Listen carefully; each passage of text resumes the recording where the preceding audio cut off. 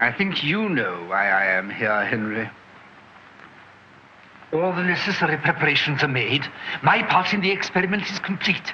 I have created by my method a perfect human brain, already living but dormant. Everything is now ready for you and me to begin our supreme collaboration. No, no. Don't tell me of it. I don't want to hear. I've changed my mind. I won't do it. I expected this. I thought we might need another assistant. Perhaps he can persuade you. Nothing can persuade me. We shall see. No, not that. Oh, he's quite harmless, except when crossed.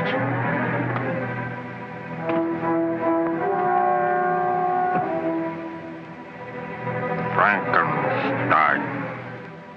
Yes, uh, there have been developments since he came to me.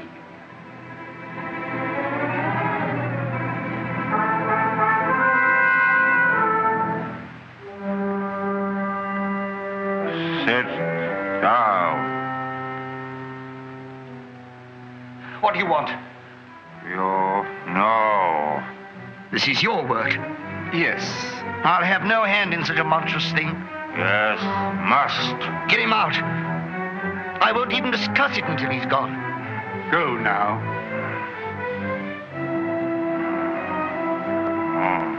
Go.